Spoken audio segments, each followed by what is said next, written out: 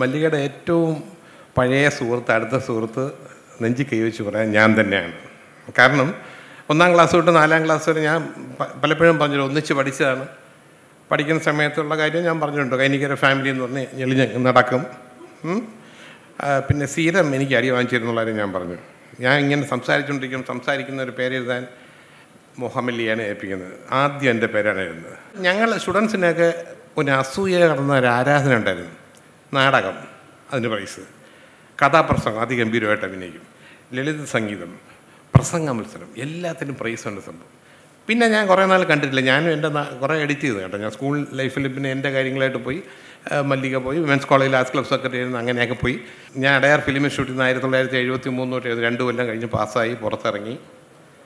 ചാൻസിന് വേണ്ടി അലയുകയാണ്. ഓരോ സ്റ്റുഡിയോയുടെ മുമ്പ് ചെന്നാലും അവർ സ്റ്റുഡിയോയ്ക്കകത്ത് വിടത്തില്ല. വാച്ചുമാന്മാരുണ്ട് ഞാൻ എന്റെ അഭിനയിച്ച ഡിപ്ലോമ ഫിലിം അഭിനയിച്ച സർട്ടിഫിക്കറ്റും എന്താ പറയുക അത് ആൽബം ഒക്കെ ആയിട്ട് പോയിട്ട് ഒരു സ്ഥലത്തും പോകുന്നില്ല. ഒരു നിവൃത്തിയില്ല.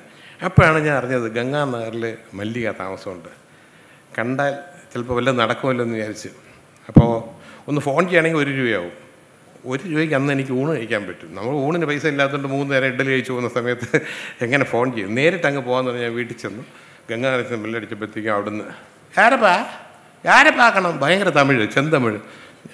കൂടെ പഠിച്ച സുധീർ കുമാറാണ് ഞാൻ എന്റെ കൈയും കാലൊക്കെ പറയ്ക്കുന്നത് സുധീർ കുമാറാണ് ഭയങ്കര സന്തോഷമായി. വരാൻ പറഞ്ഞു ഇരിക്കാൻ പറഞ്ഞു ചായയൊക്കെ തന്നു. ഞാൻ പറഞ്ഞു ഞാൻ വന്നു ഇൻസ്റ്റിറ്റ്യൂട്ട് രണ്ടു കൊല്ലം പഠിച്ചു. ചാൻസിന് വേണ്ടി നടക്കുന്നു. വീട്ടിൽ നിന്ന് വരുന്ന നൂറ് രൂപ റേഷനും കട്ടായി. ഭയങ്കര ബുദ്ധിമുട്ടാണ്. ആരെങ്കിലും ഒന്ന് പരിചയപ്പെടുത്താൻ പറഞ്ഞപ്പോൾ അപ്പോഴും പറഞ്ഞു.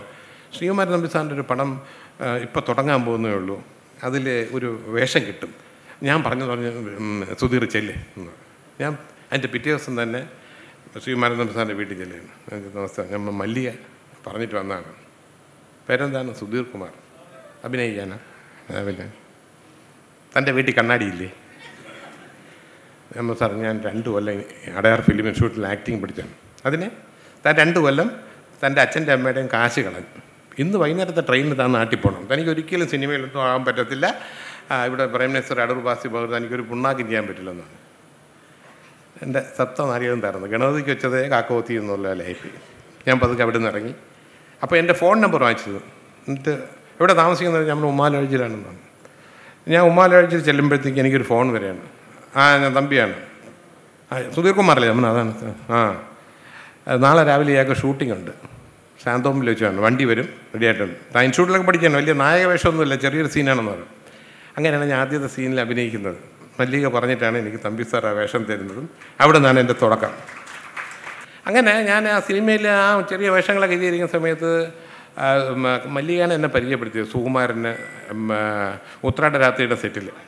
അങ്ങനെ ആരെ ഇഷ്ടപ്പെടുന്ന ഒരാളല്ല സുകുമാരൻ. പ്രണയം എന്നുള്ളത് അടുത്തൂടെ പോയിട്ടില്ല. അദ്ദേഹമായിട്ട് സംസാരിക്കുമ്പം ഏതെങ്കിലും ഒരു കാണാൻ കൊള്ളാതെ പെണ്ണ് വന്നാൽ നമുക്കൊരു സന്തോഷം. ഒരു തണുപ്പ് കൊള്ളാമല്ലോ ഇരിക്കാൻ പറ്റുന്ന പുള്ളി. ഞങ്ങൾ പേഴ്സണലായിട്ട് സംസാരിക്കും. ഒന്ന് മാറിയിരിക്കും. നമ്മുടെ അടുത്തൊന്ന് സംസാരിക്കാൻ നേരം കൂടെ എണീറ്റ് പൊക്കളെ. അപ്പോൾ അങ്ങനെയുള്ള ആളാണ് ഇവർ തമ്മിൽ കമ്പനിയായി.